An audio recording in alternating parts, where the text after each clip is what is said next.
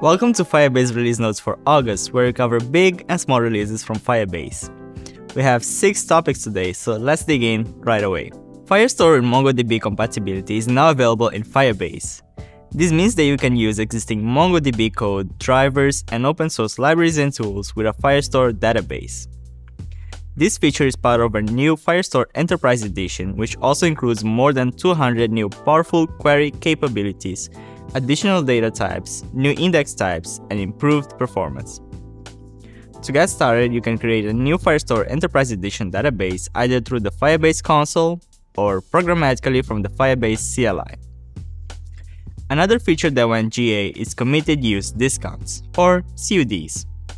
CUDs provide discounted prices in exchange for your commitment to continuously spend a certain amount on Firestore operations for one year or three years.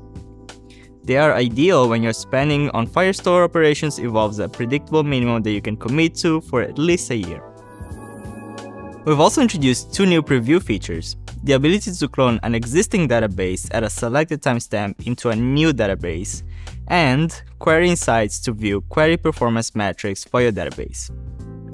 This dashboard can help you with things such as performance optimization, cost management, and stats monitoring. Now let's talk about route-based monitoring in Firebase app hosting.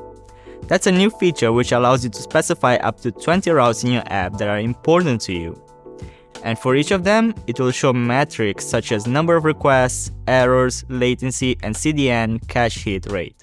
If you want to see this feature in more detail, stay tuned to our YouTube channel as we'll publish a deep dive video about this in the following weeks. We've made some improvements to the Crashlytics alerts, you can find those in the Firebase console under Project Settings. You'll find that integrations with tools such as Jira, PagerDuty, and Slack can now be done at app level. There is a new velocity alert for ANRs, or application not responding errors, a common error in Android devices, and the velocity alert thresholds now include both a minimum number of users and minimum percentage of impacted users. Speaking of Crashlytics, version 14.13.0 of the Firebase CLI introduces two new MCP tools for Crashlytics. Get sample crash for issue and get issue details, which allows you to get more details about a crash when you prompt an AI agent configured with the Firebase MCP server. That same version also introduces updates to how you can initialize Firebase Data Connect. There's now a non-interactive mode and a new option to use Gemini to auto-generate a schema and some seed data for your database. Starting in CLI version 14.12.0, there is a new Firebase init AI tools command, which you can use to configure AI coding assistants to work with your Firebase project. This command can help you set up the Firebase MCP server for direct Firebase operations and install context files that help AI understand more about Firebase. Last month, the Firebase Dynamic Link service was shut down. But before that happened, the Firebase auth admin SDKs for Python and Go were updated to introduce a new action code settings.link underscore domain parameter, which allows you to customize the Firebase hosting domain used in email action flows.